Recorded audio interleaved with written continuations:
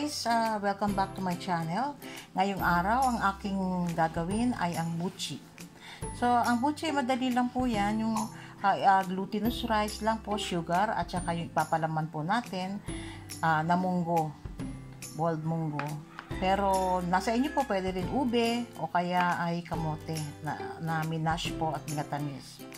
So, itong gagawin ko po, ito po mga ingredients, uh, 1 cup na boiled munggo at saka 4 tablespoon na sugar. Para po dito sa munggo yan, mamatamisin po natin yan. And then, 1 cup na water at plus 3 tablespoon na water. At saka 2 tablespoon na sugar para po dito sa mix po ng water na ilalagay po natin sa ating glutinous at saka ito pong ating glutinous rice powder na nabili lang po sa grocery or sa palengke, mabibili din po. Yan po. Tatakalin po natin yan. At saka ang sesame seeds. At ang ating pang flavor ay vanilla. Ah, uh, siya nga pala guys, uh, ginagamit na kung napapansin niyo, palaging red na sugar ang ginagamit ko. Uh, kasi yung pong gusto ko na gamitin dahil healthy na, masarap pa, nakakadagdag sa flavor. Pero, ang dapat din po, kailangan po ay white sugar. So, nasa inyo yun po kung anong gamitin niyo. Uh, pwede rin white. Okay? Sige po, uh, sige, samahan po ninyo sa aking pagluluto. Okay guys, gawa muna tayo ng, ng filling natin sa ating buchi. Uh, mamatamisin po muna natin ang munggo. So, ilagay po ang munggo. Okay. And then, lagyan lang po ng mga mga 2 tablespoon na tubig. Tansyahan lang. Tansya, 2 tablespoon. Ang kaman. And then, ilagay po natin ang ating asukal. Okay. Yan po yung asukal na 4 tablespoon. Pagka medyo malapot na po siya at saka natuyo na po ang, ang ating munggo, ano na po yan. Pwede na po.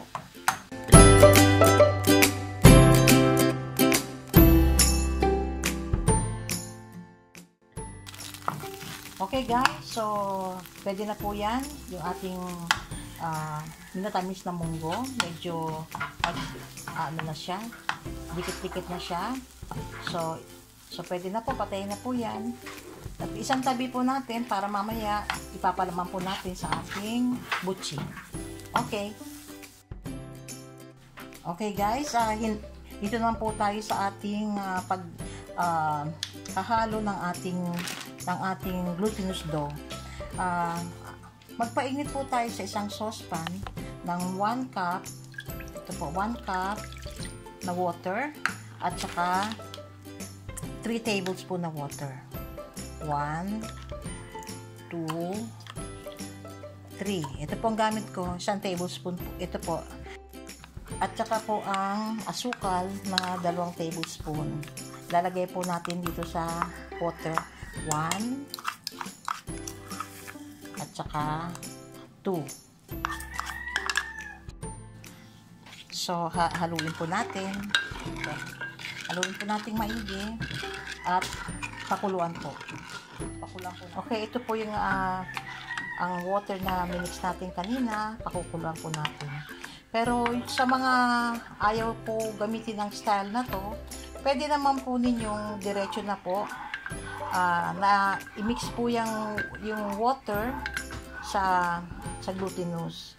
Pero gusto ko lang pong initin nang sa ganon uh, medyo luto po yung ating glutinous para pag ating niluto ay luto po yung loob kasi minsan nahihilaw yung loob eh so pag kulo-kulo po nyan atin na pong imimix po sa ating glutinous okay. so guys balikan po natin ayun na po siya kumukulo na po siya so i-mix na po natin sa ating glutinous rice glutinous okay guys balik po tayo sa ating uh, paggagawa ng uh, glutinous uh, glutinous rice flour. So, kailangan po natin, uh, katulad sabi ko, uh, tatlong cups lang po. So, good for one serving lang po ang aking gagawin. Okay, so bubuksan ko po itong glutinous flour. And then, yung uh, ilalagay po natin ang muna po pala ang itong ating pinakuluang tubig na may asukal. So, ito po siya. Lagay po natin lahat. Okay? Ito po siya.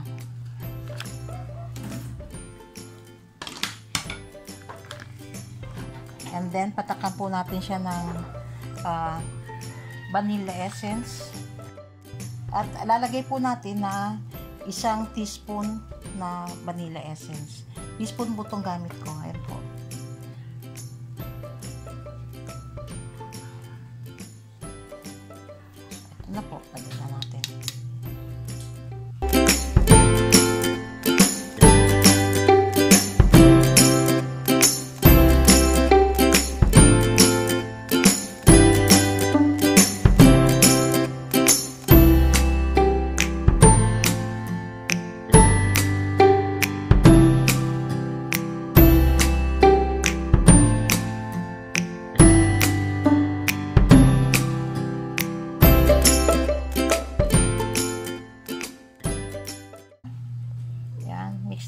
Na ano na po.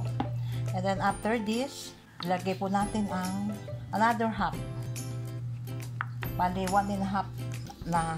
So, total no, bali, tatlo na ang ating nalalagay.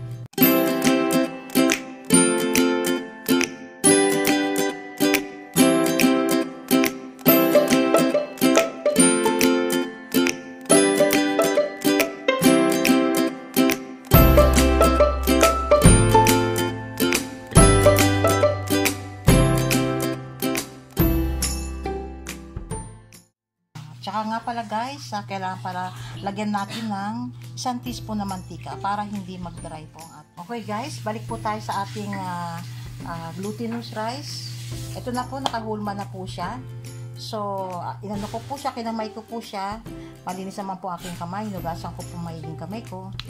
Nagdagdag po ako ng dalawang tablespoon na hot water po para eksakto. Okay po? So, bali, ang at nagamit po natin water bali 1 cup at saka 3 tablespoons sa pinakulo pinakulong tubig. And then additional plus 2 tablespoon na tubig na mainit po habang minamasa. Okay po so umpisa na po natin ang paglalagay ng peeling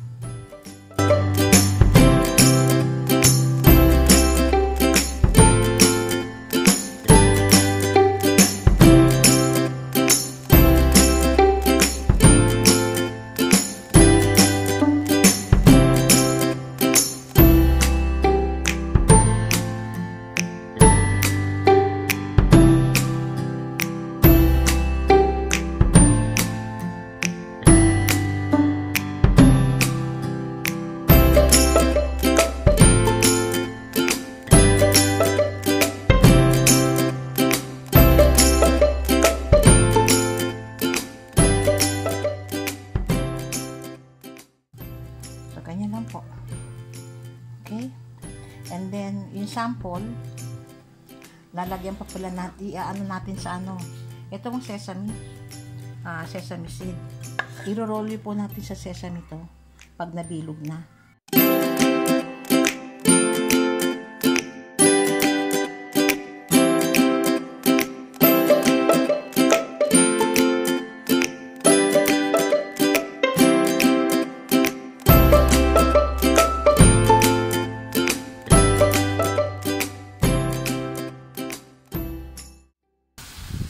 Guys, ito na po.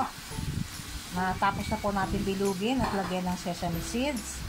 Mga uh, ano, mga naka 11 pieces lang po kami pero pwede pong maging 12 po yan kasi may, may iba po kasi malalaki ang size kaya kaya ganyan lang po. Tapos sa tatlong cups na glutinous rice mga 11 to 12 pieces po magagawa. So okay guys samahan po ninyo ako. Atin na pong lutuin. Painit po tayo mantika para po ah, uh, na po natin ng buchi. Ang mantika ho ay medyo kalahati sa ating saucepan para lubog po pagkaluto.